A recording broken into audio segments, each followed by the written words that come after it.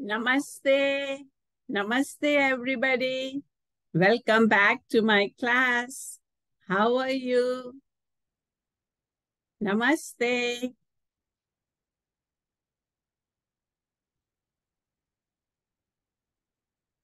So let's start the class with the prayers we have learned so far. So now we are going to pray to Lord Ganesha, then Devi Saraswati, and then Devi Lakshmi. So join your hands and chant with me. Om Ganeshaya Namaha Vakratunda Mahakaya Surya Koti Samaprabha Nirvignam कुरु मे देवा सर्व सर्वकार्येषु सर्वदा शुक्लाम्बरधरं विष्णुं शशिवर्णं चतुर्भुजं प्रसन्नवदनं ध्यायेत्। Sarvavigno Pashantaye. And now a prayer to Devi Saraswati. Saraswati Namastubhyam Varade Kama Rupani Vidyarambham Karishyami सिद्धिर भवतु मे सदा। And now a prayer to Devi Lakshmi नमस्ते अस्तु महामाये श्रीपीठे सुरपूजिते शंख चक्र गदा हस्ते Mahalakshmi Namostute. And now a prayer to Lord Rama and then two prayers to Lord Krishna. Om Ramaya Namaha Ramaya Ramabhadraya रामचंद्राय वेद से, रघुनाथाय नाथाय सीताया पतये नमः। And now a prayer to prayers to lord Krishna ओ कृष्णाय नम कृष्णाय वासुदेवाय देवकी नन्दनाय च नन्दगोपकुमाराय गोविन्दाय नमो नमः वसुदेवसुतं देवम् कंसचानूर मर्दनम Devaki परमानंदम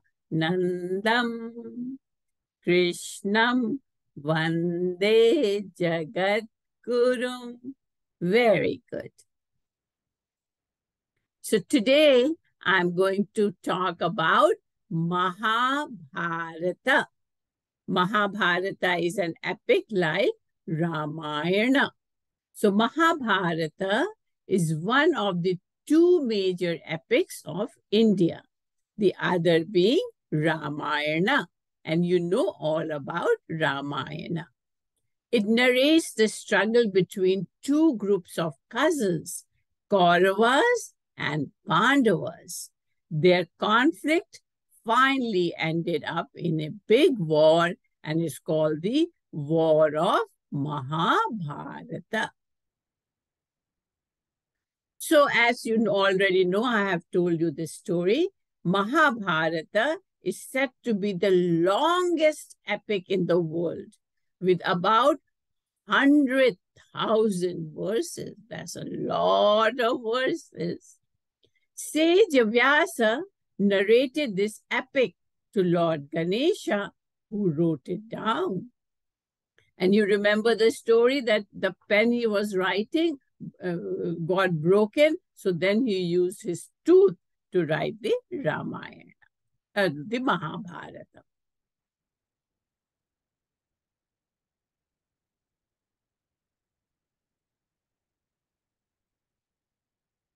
The king of Hastinapur had three sons, Dhritarashtra, Pandu, and Vidur.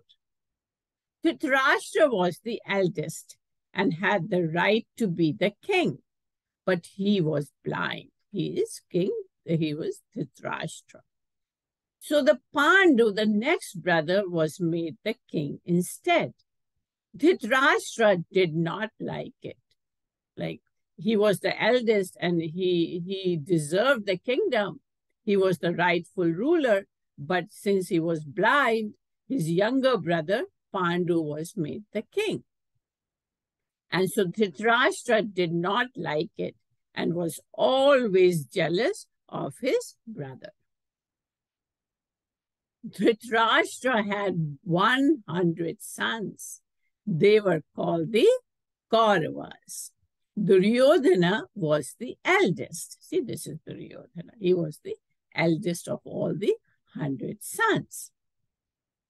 Pandu has five sons. See, he had five sons. Named Yudhishthira, he was the eldest. Bhima, Arjuna, Nakula, and Sahadeva. They were called the Pandavas.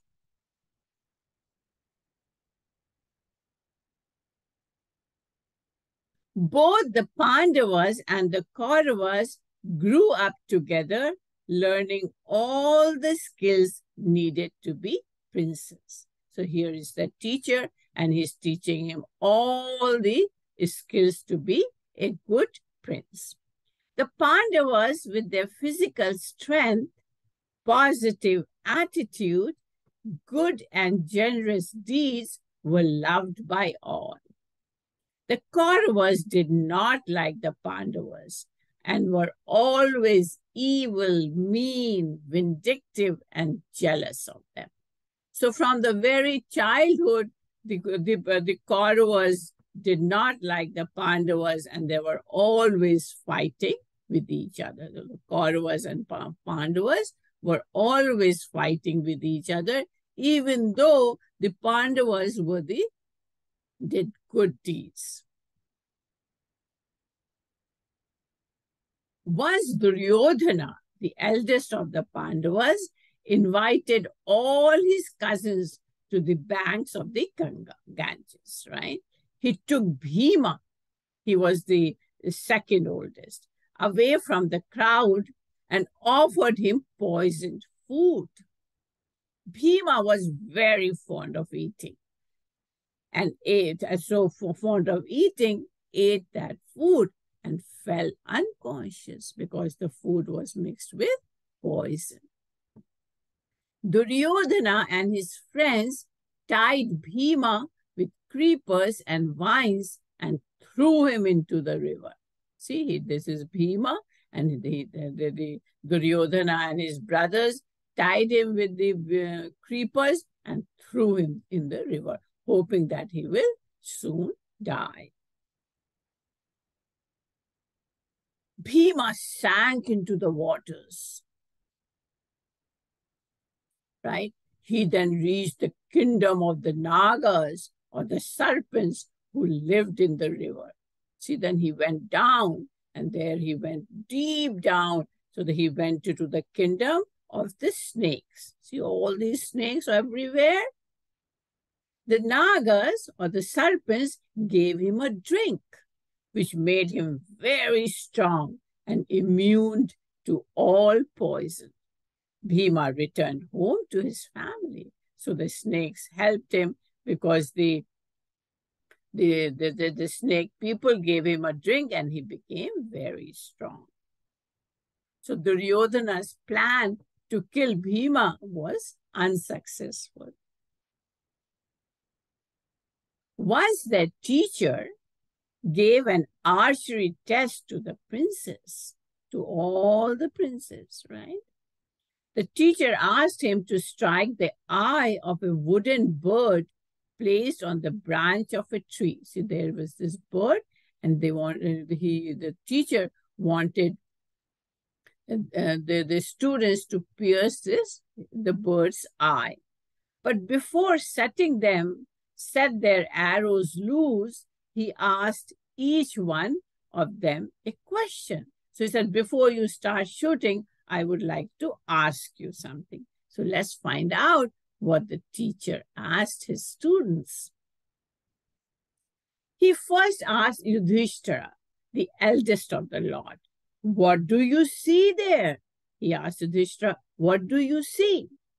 To which Yudhishthira replied, I see a wooden bird, the branch and the tree and the leaves moving. He said, I, I do see a bird, but I also see the branch on which the bird is sitting and the tree and the leaves, uh, leaves, you know, moving around. Everyone else replied similarly. They all replied the same. The teacher asked them all to lay down their bows and arrows. He said, you are not fit for shooting. When it was Arjuna's turn, Arjuna uh, he said, I can only see the eye of the bird. So Arjuna said, I don't see anything else because I only see the eye of the bird because that's what I have to shoot. So the teacher was very happy. He said, yes, you are, you are very focused. That is when, when you, you know, you are, because the, you are just focusing on the eye. The teacher smiled. The other princess uh, uh, had their eyes on everything, while Arjuna had set his eyes only on his goal. See, all the other students saw the bird's eye, but they saw other things also. But Arjuna had set his eyes only on his goal, the eye of the bird. Only Arjuna was permitted to shoot at the bird, which he did successfully. So what does this story teach us? This story teaches us to stay focused. See, if you just, if you focus, then you hit the bullseye. Whatever you are doing, put your whole mind to it. Let's not the mind wander here and there. If you are shooting, your mind should be only on the target. Then you will never miss it.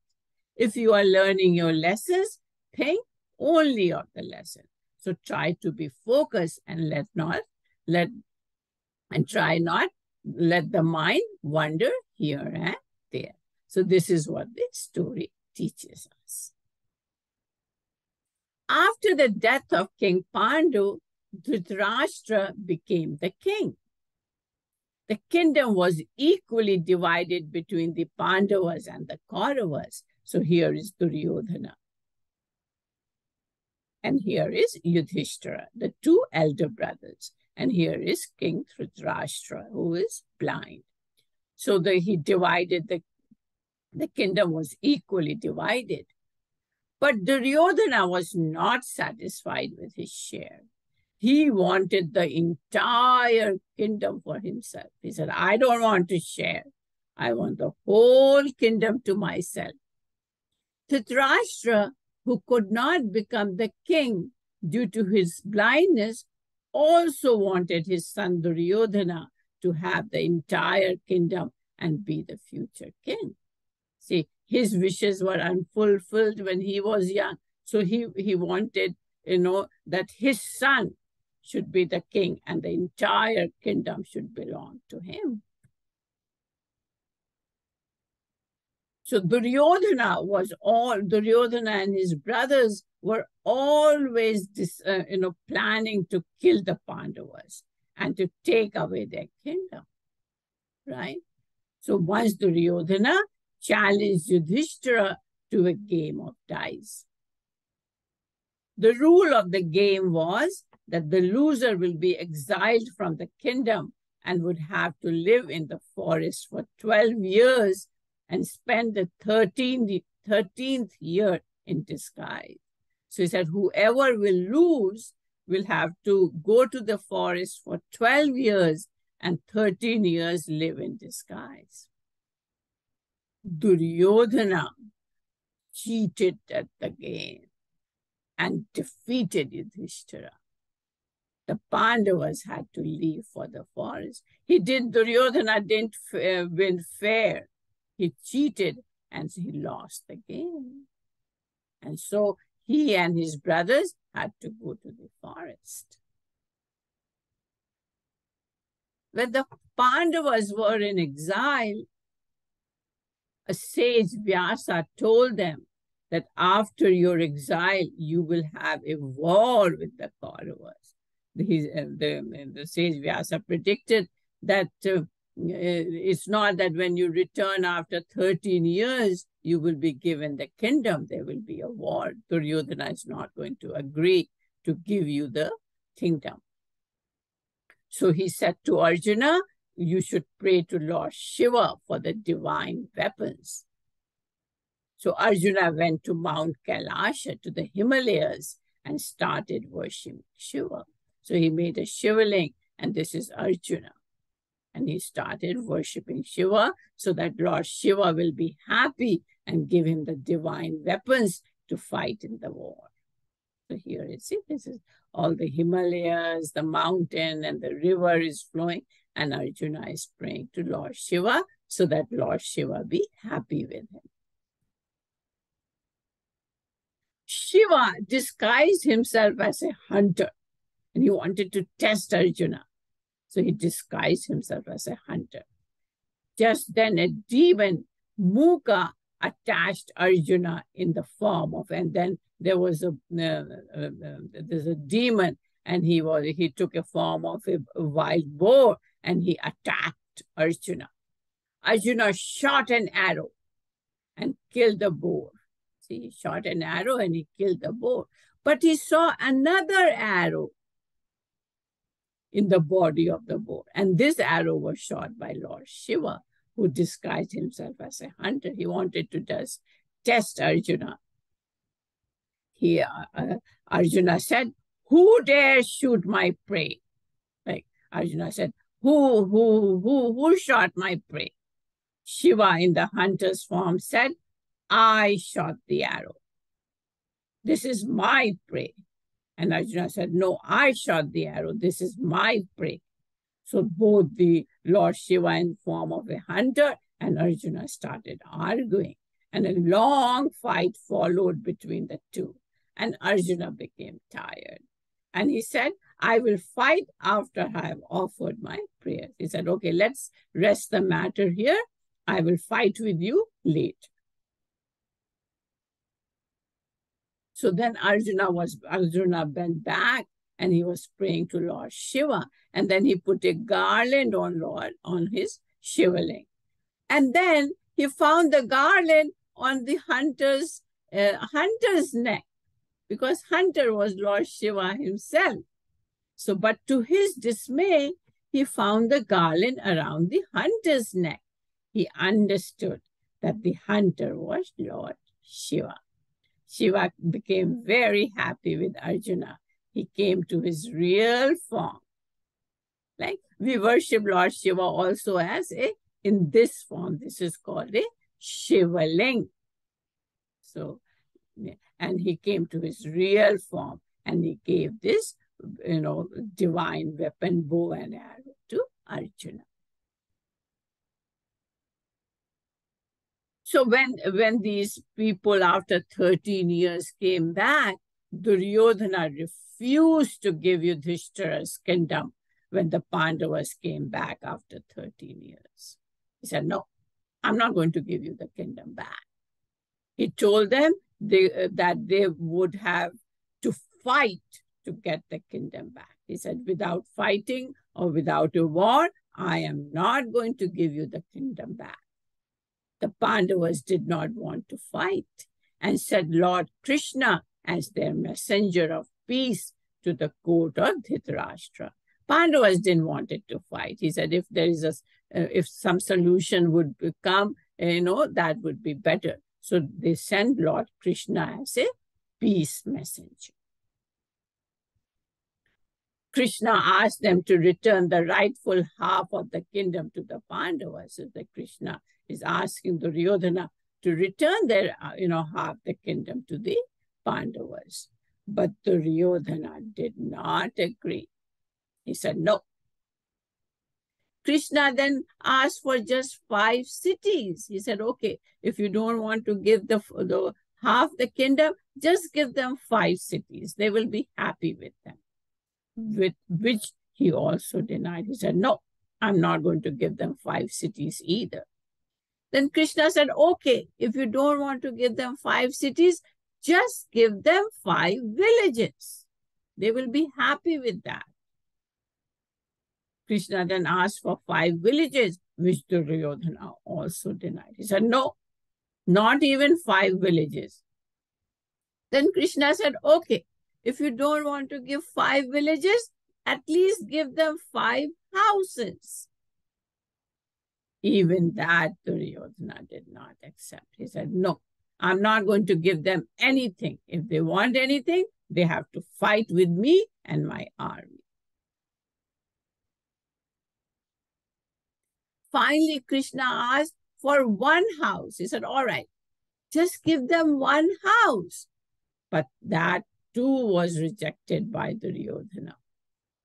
He went on to say that he would not even give as much land as to stick a pin into it. So he said, no, nothing doing. I'm not going to give them anything. He's, he's refusing everything to Lord Krishna. So the, the, you know, Lord Krishna's attempts for peace had failed and there was no way out but the war. Duryodhana was an evil guy. So as the preparations of the war was going, was being made, both the Kauravas, the Duryodhana's people, and the Pandavas were trying to get the support of as many kings as they could.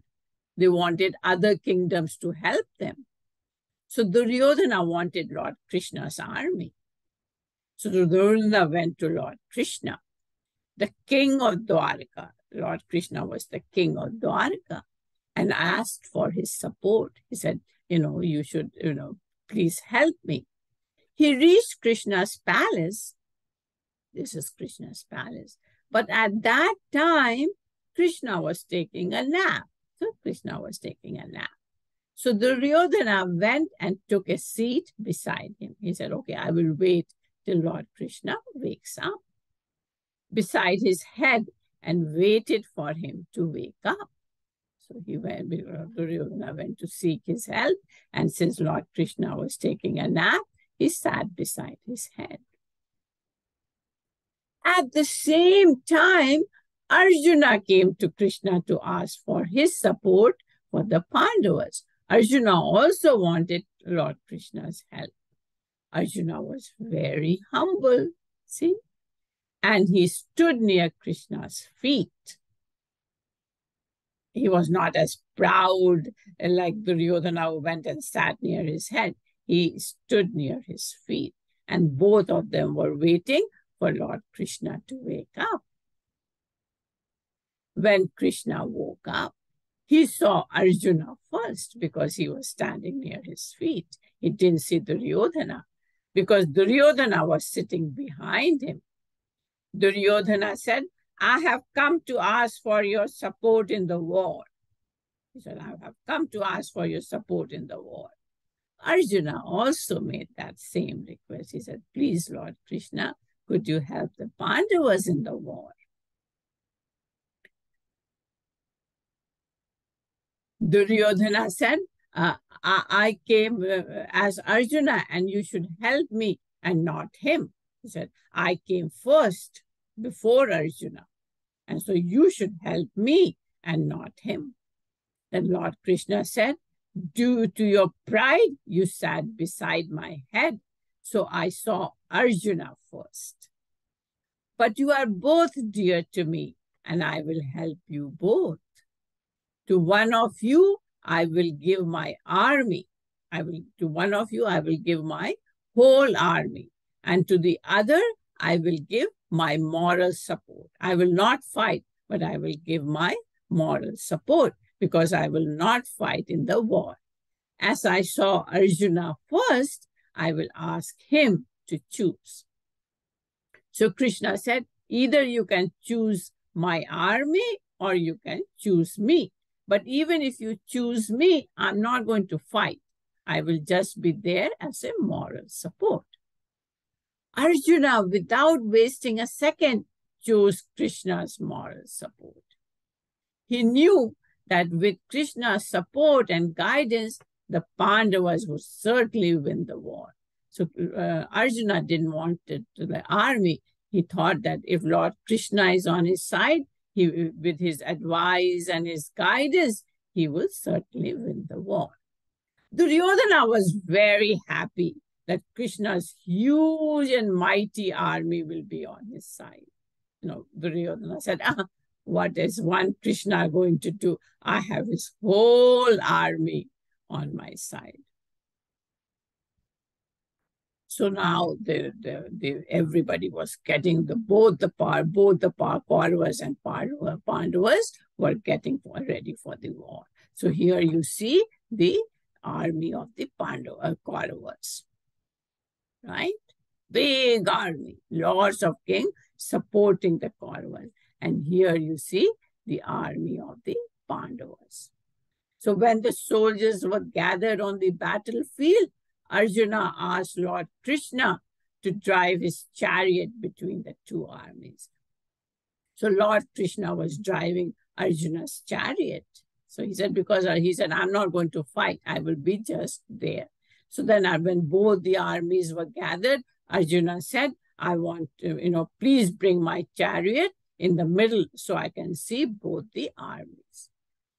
Arjuna felt great sorrow when he saw his grandfather, teachers, brothers, friends, and relatives on the opposite side because they were cousins, right? The Kauravas and Pandavas were cousins. So they had, you know, the same grandfather, same teachers, same friends, relatives. So then when Arjuna saw all his, his people and relatives on the other side with, with whom he's supposed to fight, he became very sad, with whom he must kill to win the war. He said, I have to kill all my relatives in order to win the fight.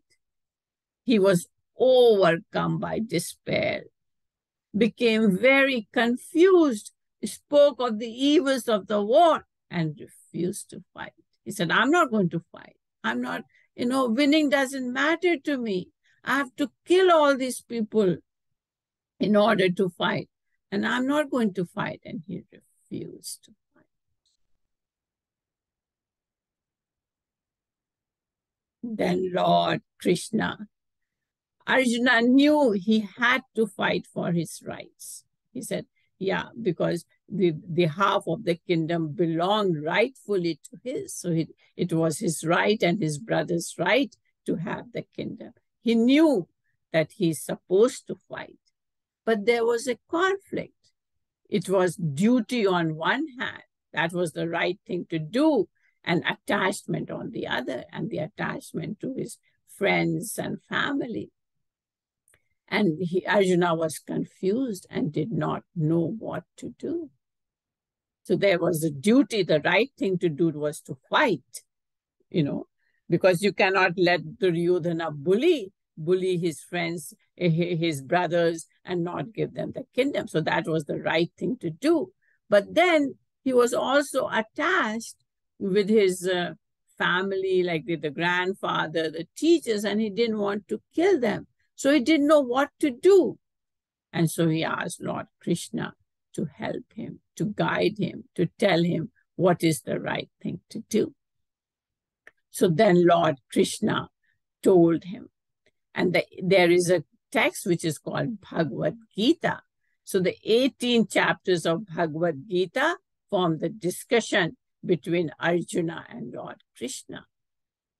So Arjuna, Lord Krishna said, no, you, you know, it is, uh, you know, and Bhagavad Gita means, Bhagavad means God and Gita means song. So Bhagavad Gita means the song of God or the teachings of Lord Krishna.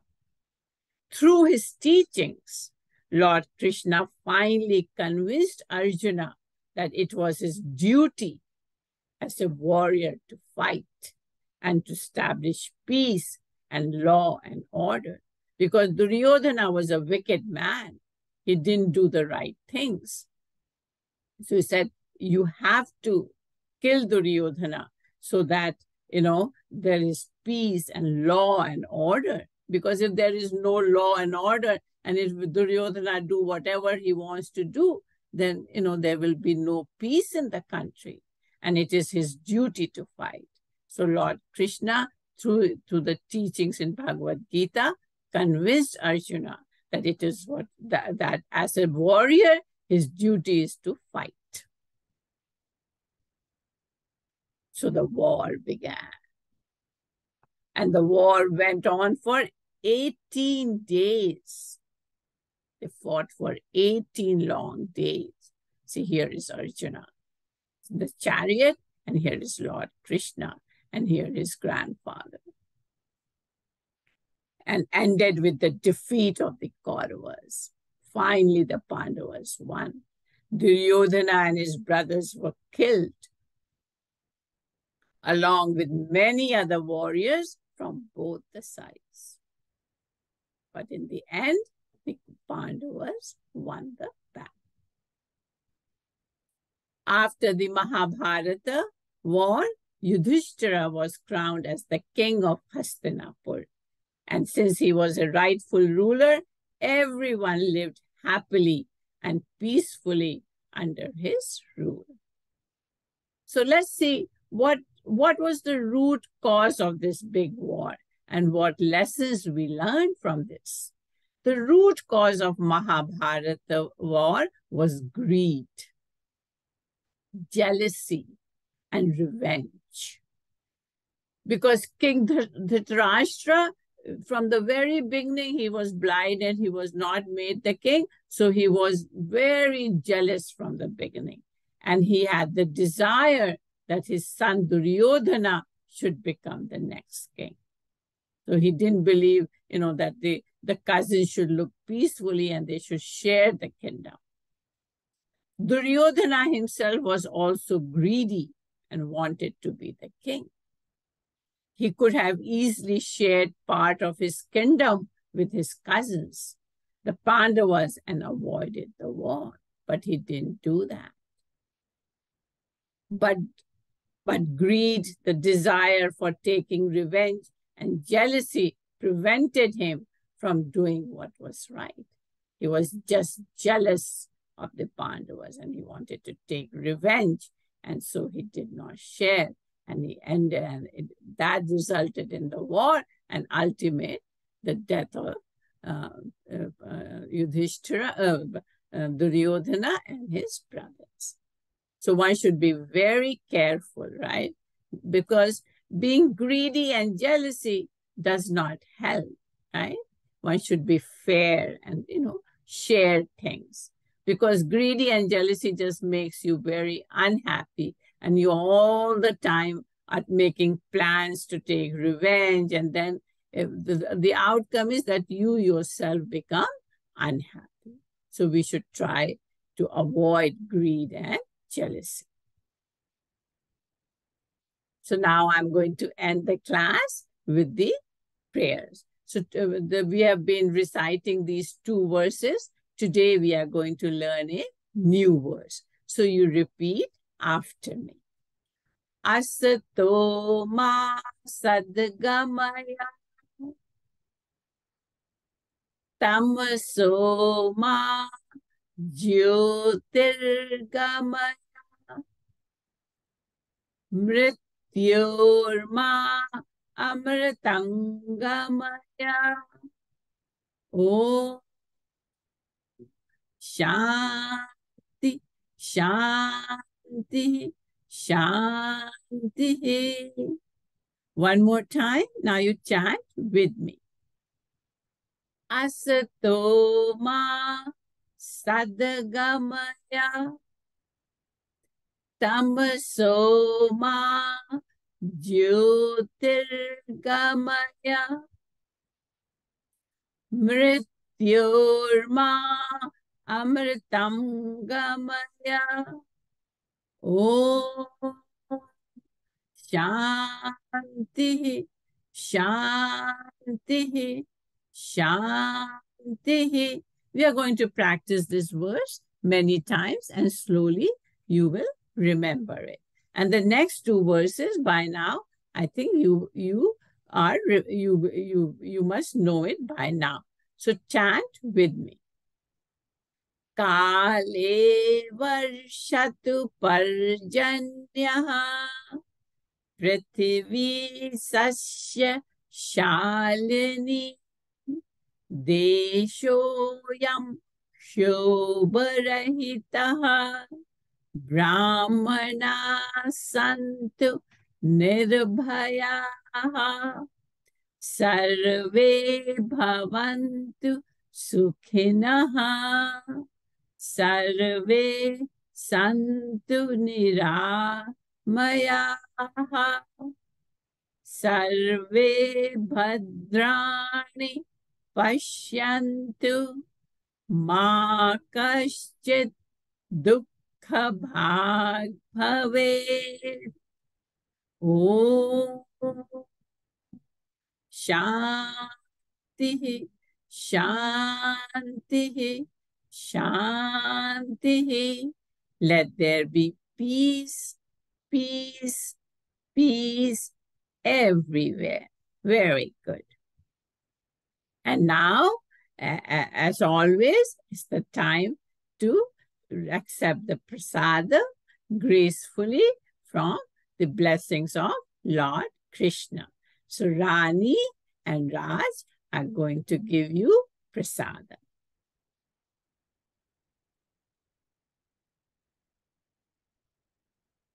All right. Namaste. Goodbye. फिर मिलेंगे।